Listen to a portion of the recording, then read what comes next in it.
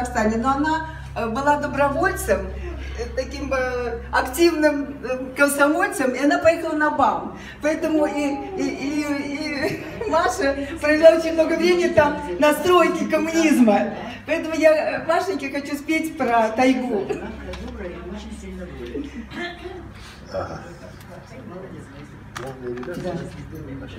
Сердце не стоит. А, ты не, а ну, оно Не надо.